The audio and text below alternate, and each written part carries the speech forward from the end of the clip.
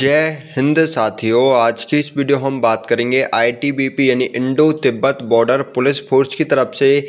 आप सभी के लिए कांस्टेबल जीडी के पदों पर रैली भर्ती आ चुकी है। फ्रेंड्स यह आपकी ओपन रैली भर्ती रहने वाली है। फ्रेंड्स, आज की इस वीडियो हम बात करेंगे कि आप सभी को इस भर्ती के लिए कैसे अप्लाई करना होगा, कैसे आपको इसका ऑफलाइन फॉर्म फिलअप करना होगा। तो आज की वीडियो में आपको ए टू जेड जानकारी देने वाला हूँ। साथ ही फ्रेंड्स, यदि आपने इस भर्ती के अभी क्वालिफिकेशन को चेक नहीं किया है तो मैंने आपको लिंक वीडियो के कमेंट बॉक्स में प्रोवाइड करा दिया है। आप सभी वहाँ से इस भर्ती के बारे में डिटेल में क्वालिफिकेशन चेकआउट कर पाएँगे। टोटल फ्रेंड्स आपकी 620 पदों पर इस भर्ती का नोटिफिकेशन जारी किया गया है और केवल हाई स्कूल पास कैंडिडेट इस भर्ती में आवेदन कर सकते हैं। तो लिंक आपको वीडियो को कमेंट बॉक्स में मिल जाएगा। जहाँ से आप सभी इस भर्ती के बारे में डिटेल में जानकारी चेकआउट कर पाएँगे। अभी चलिए हम जान लेते हैं कि आप सभी को इस भर्ती के लिए ऑफलाइन फॉर्म को कैसे प्राप्त करना होगा। देखिए फ्रेंड्स यहाँ से आप अपने जिस भी स्टेट के लिए अप्लाई करना चाहते हैं, उस स्टेट के आप सभी को यहाँ पर पीडीएफ देखने को मिल जाएँगे। यहाँ से आप पीडीएफ डाउनलोड करने के बाद आप सभी को फॉर्म को अप्लाई करना होगा। देखिए फ्रेंड जैसे आप सभी इस भर्ती का ऑफलाइन फॉर्म पीडीएफ डाउनलोड कर लेते हैं तो आपको यहाँ पर टोटल पाँच पेज का आपका पीडीएफ देखने को मिल जाएगा। ये आपका पाँच पेज का अलग अलग आपका पीडीएफ रहने वाला है। देखिए फ्रेंड्स आप सभी को क्या करना है? सबसे पहले आप सभी को अपने यहाँ पर एक पासपोर्ट साइज़ फ़ोटो आप सभी को चिपका देना है। और पासपोर्ट साइज़ फ़ोटो को चिपकाने के बाद उसको सेल्फ अटेस्टेड कर देंगे। यानी पासपोर्ट साइज़ फ़ोटो चिपकाया, उसके ऊपर आप सभी को अपने सिग्नेचर कर देने होंगे। इसके बाद फ्रेंड्स, आप सभी को यहाँ पर रोल नंबर नहीं फिलअप करना है, ये आपका ऑफ़िस यूज़ के लिए रहने वाला है। सबसे पहले आप सभी अपना यहाँ पर नाम फिलअप करेंगे। आपको कुछ चीज़ों का याद रखना है। नाम को अपने को ब्लैक लेटर यानी कैपिटल लेटर में फिलअप करेंगे। साथ ही आपको एक कॉलम में अपने यहाँ पर नाम का एक ही वर्ड आपको लिखना होगा।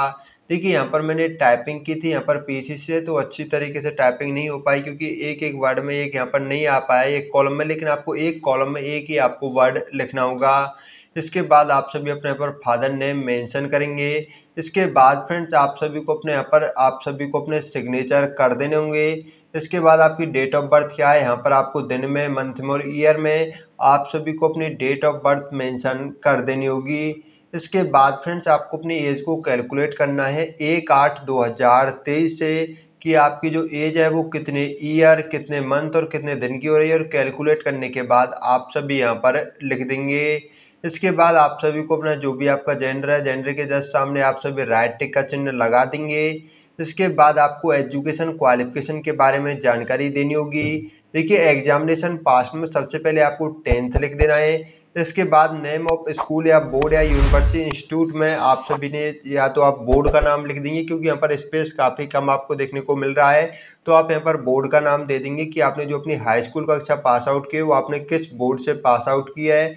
इसके बाद सब्जेक्ट स्टडीज़ यहाँ पर आपसे जानकारी पूछी हुई कि आपने टेंथ में कौन कौन सी सब्जेक्ट पढ़ी हैं तो इतना यहाँ पर स्पेस नहीं है, बस आपको क्या करना है, यहाँ पर लिख देना ऑल सब्जेक्ट और इसके बाद आप सभी को अपने यहाँ पर परसेंटेज के बारे में जानकारी दे देनी होगी।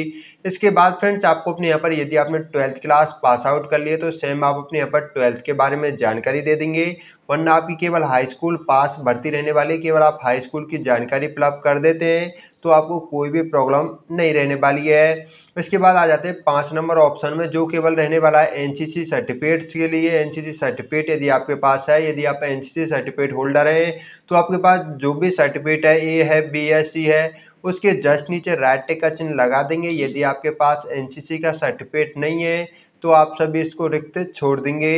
इसके बाद आप जिस भी कैटेगरी से अपने फॉर्म को अप्लाई कर रहे हैं तो आप सभी को इसके जस्ट नीचे आप सभी को यहाँ पर राइट टेक का चिन्ह लगा देना होगा। इसके बाद फ्रेंड्स आपको अपने यहाँ पर धर्म के बारे में जानकारी देनी होगी। देखिए फ्रेंड्स, आपका जो भी धर्म है, आप सभी अपने धर्म के जस्ट नीचे आप सभी राइट टेक का चिन्ह लगा देंगे।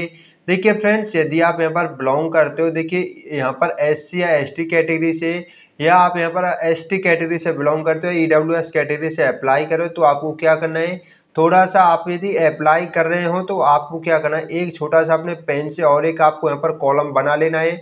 और आपको कॉलम बनाने के बाद आप सभी को यहाँ पर क्या करना होगा, यहाँ पर आपको इस प्रकार कॉलम बना लेना है और एक साइड में आपको लिख देना है ई डब्ल्यू एस और एक साइड में लिख देना है एस टी यदि आप E W S S C S T category से अप्लाई करें तो उनके नीचे राइट टिक का चिन्ह लगा देंगे।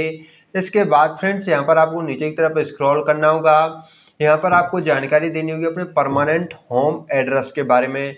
देखिए, सबसे पहले आपको क्या करना है, आपको अपने गाँव का नाम यहाँ पर मेंशन करना है इसके बाद आप सभी का पोस्ट ऑफ़िस क्या है, यानी कि आपका डाकघर क्या है, आप सभी अपने डाकघर का नाम यहाँ पर मेंशन करेंगे, इसके बाद आपका तहसील क्या है नहीं आपका सब डिस्ट्रिक्ट क्या है, उसके बारे में जानकारी देंगे, पुलिस स्टेशन क्या है, उसके बारे में जानकारी देंगे, डिस्ट्रिक्ट के बारे में जानकारी देंगे, आपका डिस्ट्रिक्ट क्या है, स्टेट क्या है और आप सभी अपने यहाँ पर पिन कोड के बारे में जानकारी दे देंगे। आशा करूँगा कि आपको एड्रेस लिखने में तो कोई दिक्कत नहीं आएगी। इसके बाद फ्रेंड्स आपको अपना, जो आपने यहाँ पर यदि आपके परमानेंट एड्रेस और प्रेजेंट पोस्टल यानी करस्पॉन्डेंस एड्रेस सेम है तो आपने जो एड्रेस यहाँ पर अपना फिलअप किया, उसी एड्रेस को आप सभी यहाँ पर फिलअप कर देंगे। सेम ही एड्रेस आपको फिलअप कर देना है। बस आपको क्या करना है, आप सभी को अपने यहाँ पर टेन डिजिट का, आप सभी को यहाँ पर अपना मोबाइल नंबर लिख देना होगा। इसके बाद आप सभी को अपने यहाँ पर एक ईमेल आईडी देनी है। इसके बाद आप सभी को अपना यहाँ पर फिर से वही मोबाइल नंबर या आप अलग मोबाइल नंबर भी यहाँ पर दे सकते हैं। इसके बाद आपको यहाँ पर फ़िज़िकल स्टैंडर्ड में, देखिए फ्रेंड्स यहाँ पर जो आपकी हाइट मांगी गई है, वो आपकी मिनिमम हाइट एक सौ पैंसठ सेंटीमीटर रहनी चाहिए। लेकिन जो भी आपकी हाइट है, आप सभी अपनी हाइट के बारे में, जो भी आपकी हाइट है, अपनी हाइट के बारे में यहाँ पर जानकारी दे देंगे। और याद रखना है कि आपको यहाँ पर अपनी हाइट के बारे में आप सभी को यहाँ पर जो जानकारी देनी है वो आप सभी को सेंटीमीटर में ही देनी होगी इसके बाद आप अपनी चेस्ट की यहाँ पर फुलाव के साथ और एक्सपेंडेड के साथ और अनएक्सपेंडेड के साथ अनएक्सपेंडेड का मतलब होता है यहाँ पर आपको यहाँ पर आपको बिना फुलाव के और यहाँ पर आपको फुलाव के साथ अपनी चेस्ट के बारे में जानकारी देनी होगी इसके बाद आपका वेट कितना है आप सभी अपने यहाँ पर वेट के बारे में जानकारी देंगे यहाँ पर डू यू देखिए यहाँ पर आपको क्या करना है यहाँ पर आपको नो ही आपको यहाँ पर लिख देना है इसके बाद आप सभी को नीचे आ जाना है और यहाँ पर आने के बाद आप सभी को यहाँ पर आपको यदि आप प्रेजेंट में एम्प्लॉयड हो, यदि आप प्रेजेंट में आईटीबीपी में काम कर रहे हो तो आप सभी यहाँ पर उसके बारे में जानकारी दे देंगे। यदि काम कर रहे हो तो वरना आप सभी इसको रिक्त छोड़ देंगे। इसके बाद देखिए फ्रेंड तेरह नंबर ऑप्शन में आपको क्या करना है? सभी पर आपको, देखिए, आपसे यहाँ पर जानकारी पूछिए कि आपके ऊपर कोई भी एफआईआर दर्ज है क्रिमिनल केस है तो आप यहाँ पर, यदि आपके ऊपर है तो यस पर राइट टिक चिन्ह लगाएँगे, वरना आपको नो पर, सभी पर आपको क्या करना है? यदि आपके पास ऊपर कोई भी केस वगैरह वगैरह कुछ नहीं है, आप कभी भी कोर्ट नहीं गए हो, सभी पर आपको क्या करना है? नो पर ही राइट टिक चिन्ह लगा देना होगा। यदि क्योंकि इन पर यस पर राइट टिक चिन्ह लगाते हो तो थोड़ी दिक्कत हो जाती है। इसके बाद फ्रेंड्स आपको यहाँ पर जानकारी देनी होगी अपने आइडेंटिफिकेशन मार्क के बारे में। आपके शरीर पर कोई भी परमानेंट मार्क है, आप सभी उसके बारे में जानकारी देंगे। बट आपको याद रखना है, जो आपका मार्क है, वो आपका परमानेंट होना चाहिए। ऐसा नहीं कि आज है, कल गायब हो जाए, नहीं, आपकी कोई भी तिल है, मोल है, उसके बारे में आप सभी जानकारी दे देंगे। इसके बाद आप सभी को यहाँ पर अपना थंब इम्प्रेशन लगा देना है। जो आपको थंब इम्प्रेशन लगाना है, वो आपको लेफ़्ट हैंड का थंब यहाँ पर लगा देना होगा। यहाँ पर देखिए फ्रेंड्स आपको जानकारी देनी होगी अपने डॉक्यूमेंट के बारे में कि आप सभी अपने फॉर्म के साथ कौन कौन से डॉक्यूमेंट आप सभी साथ में फोटोकॉपी करा के भेज रहे हो। तो आप सबसे पहले लिखेंगे यहाँ पर टेंथ की मार्कशीट यहाँ पर आपको डॉक्यूमेंट आपको भेजना कहीं नहीं है, लेकिन आपको लिख देना है कि आप अपने यहाँ पर कौन कौन से डॉक्यूमेंट आपके पास हैं। उनके बारे में आप सभी जानकारी दे देंगे। इसके बाद फ्रेंड्स, आपको जानकारी देनी यहाँ पर आपको लिख देना है कास्ट सर्टिफिकेट। इसके बाद आप सभी का यहाँ पर रहने वाला है डोमिसाइल सर्टिफिकेट। डोमिसाइल सर्टिफिकेट के बाद है फ्रेंड्स, आपका करेक्टर सर्टिफिकेट। देखिए, आपको करेक्टर सर्टिफिकेट भी एक बनवा लेना है, क्योंकि आपको वहाँ पर डॉक्यूमेंट वेरिफिकेशन होगा तो करेक्टर सर्टिफिकेट आप पुलिस वाला ना बनवा के, वैसे ही सिंपली एक बनवा लें करेक्टर सर्टिफिकेट। ठीक है, यहाँ पर आपको शॉर्ट में लिख देना है यदि आपको स्पेस कम देखने को मिले तो आप यहाँ पर शॉर्ट में लिख देंगे। इसके बाद फ्रेंड्स आधार यदि आप और कोई भी कोई डॉक्यूमेंट रख रहे हैं तो उसके बारे में जानकारी दे देंगे। इसके बाद फ्रेंड्स पहले से नहीं आप अपने फॉर्म को कहाँ से अप्लाई कर रहे हैं, अपने गाँव या सिटी का नाम आप सभी यहाँ पर मेंशन करेंगे। इसके बाद आज की यहाँ पर डेट डाल देंगे। आप सभी को अपने सिग्नेचर और आप सभी को अपने पर फुल नेम आप सभी को मेंशन कर देना होगा। इसके बाद no objection certificate candidate already government service must submitted the application through proper channel with the following certificate देखिए, ये जो आपका रहने वाला है, ये जो आपका, ये आप सभी फ्रेशर कैंडिडेट के लिए नहीं रहने वाला है। ये उन्हीं के लिए है जो एक्स सर्विस में है। ये उनके लिए रहने वाला है। ये आपको, यदि आप बिल्कुल फ्रेशर हैं तो ये आपको फिलअप नहीं करना है। आपको क्या करना है? नीचे की तरफ़ आना है और यहाँ पर फिर से आपको पासपोर्ट साइज़ फ़ोटो चिपकाना है और पासपोर्ट साइज़ फ़ोटो पर आप सभी को अपने सिग्नेचर कर देने होंगे। इसके बाद आप सभी को क्या करना है? आप सभी को अपने यहाँ पर नाम आप सभी को मेंशन करना है। आपको याद रखना है, जो भी जानकारी दे रहे हो वो आपको कैपिटल लेटर में ही देनी होगी। इसके बाद आप सभी का यहाँ पर फादर नेम क्या है, आप सभी अपने फादर नेम के बारे में जानकारी देंगे। इसके बाद आपकी डेट ऑफ़ बर्थ क्या है, आप सभी अपने यहाँ पर डेट ऑफ़ बर्थ के बारे में जानकारी देंगे। आपका यहाँ पर जेंडर क्या है, आप सभी अपने यहाँ पर जेंडर के बारे में जानकारी देंगे। इसके बाद क्वालिफिकेशन क्या है तो आपके यहाँ पर क्वालिफिकेशन मांगी हुई है टेंथ पास तो आप यहाँ पर टेंथ पास लिख देंगे। इसके बाद आप सभी को अपने यहाँ पर विलेज का नाम आप सभी को मेंशन कर देना है। इसके बाद आपका पोस्ट ऑफ़िस क्या है, आप सभी अपने यहाँ पर पोस्ट ऑफ़िस का नाम आप सभी यहाँ पर मेंशन करेंगे। इसके बाद आपका तहसील क्या है, तहसील का मतलब होता है फ्रेंड, सब डिस्ट्रिक्ट। आपने इतना बन लिया है तो आपको पता ही चल चुका होगा। इसके बाद आपका पुलिस स्टेशन, यानी आपका थाना कहाँ पर है, उसके बारे में जानकारी देंगे। इसके बाद आपका डिस्ट्रिक्ट क्या है, आप सभी अपने, यानी ज़िले के बारे में आप सभी यहाँ पर जानकारी देंगे। इसके बाद आप सभी को अपने स्टेट का नाम और यहाँ पर आप सभी को अपने एरिया का पिन कोड मेंशन कर देना होगा। इसके बाद फ्रेंड्स, आप सभी को अपने यहाँ पर मोबाइल नंबर मेंशन करना है, ईमेल आईडी मेंशन करनी है और इसके बाद आप सभी को अपने यहाँ पर कैटेगरी, किस कैटेगरी से आप सभी अपने फॉर्म को अप्लाई करें, उस कैटेगरी के बारे में आप सभी यहाँ पर जानकारी दे देंगे। देखिए, यहाँ पर आपसे जानकारी पूछी नहीं जो आप भी आपने यहाँ पर जानकारी दी है यहाँ पर अपने एड्रेस के बारे में जानकारी दी है। उस डिस्ट्रिक्ट में क्या आप यहाँ पर परमानेंटली रह रहे हो या टेम्पररी बेसिस पर हो?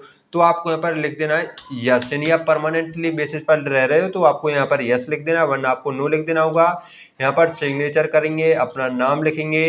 इसके बाद देखिए, ये जो आपका रहने वाला है, ये आपको फ्लप नहीं करना है, ये भी आपका ऑफ़िस के लिए रहने वाला है। बस आपको क्या करना है, यहाँ पर नीचे की तरफ़ फिर से आ जाना है। और जो आपके यहाँ पर रजिस्ट्रेशन की स्लिप है देखिए, ये जो आपकी रजिस्ट्रेशन की स्लिप है, ये आपकी केवल ऑफ़िस के लिए कॉपी है, ये आपको बिल्कुल भी फिलअप नहीं करनी है। ये आपकी, देखिए, जो ये आपकी है, ये आपको फिलअप नहीं करनी है ये ऑफ़िस की कॉपी के लिए रहने वाली है। बस आपको क्या करना है, ये आपको कैंडिडेट कॉपी ये आपको फिलअप करनी होगी। आपको याद रखना है, यहाँ पर जो आपके, देखिए, आपको यहाँ पर अपना registration number date of registration date of ये ये आपको तीन जो आपके फ़र्स्ट कॉलम है, ये आपको फिलअप नहीं करने हैं। आपको इसमें यहाँ से स्टार्ट करना है। यहाँ पर आप सभी को अपना नाम आप सभी को मेंशन करना है। इसके बाद आप सभी को अपने पर फादर नेम आप सभी को मेंशन करना होगा। इसके बाद जो भी आपका जेंडर है, उसके ऊपर राइट टिक का चिन्ह लगा देंगे। इसके बाद आप किस कैटेगरी से अपने फॉर्म को अप्लाई कर रहे हो, अपनी कैटेगरी के बारे में जानकारी दे देंगे और अपने डिस्ट्रिक्ट के बारे में जानकारी दे देंगे। बस आपको इतना ही इसको फिलअप करना है। इस प्रकार आपका जो आईटीबीपी का आपका जो कंप्लीट है, जो फॉर्म है, वो आपका फिलअप हो जाएगा।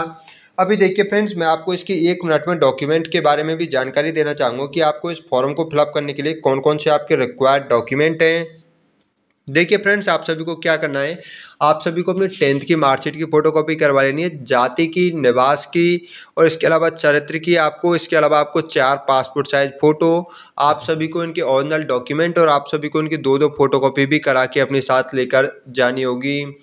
अभी देखिए फ्रेंड्स मैं आप सभी को बताना चाहूँगा, इसके अलावा क्या करना है, आप सभी को बस इनको लेकर ही जाना है। इसमें आपको कोई भी लिफाफे की आवश्यकता नहीं रहने वाली है आपका फॉर्म भर चुका है। अभी आपको एक काम और करना है, आपको क्या करना होगा, देखिए आपको ऑनलाइन रजिस्ट्रेशन और करना है अभी। आपको ऑनलाइन रजिस्ट्रेशन कैसे करना होगा, आप सबसे पहले ऑफलाइन फॉर्म को फिलअप करने, क्योंकि ये आपको फिलअप करने के साथ ये कॉपी आप सभी को अपने साथ में रैली भर्ती के पैलेस पर आपको लेकर जानी होगी, ठीक है?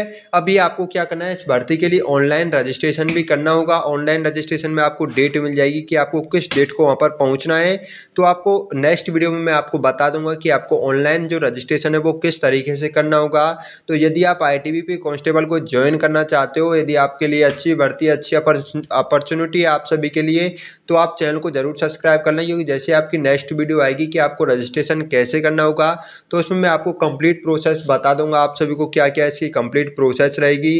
तो फ्रेंड्स आज की वीडियो में बस इतना ही। मिलता हूँ किसी फिर से अन्य वीडियो के साथ में तब तक के लिए जय हिंद जय भारत।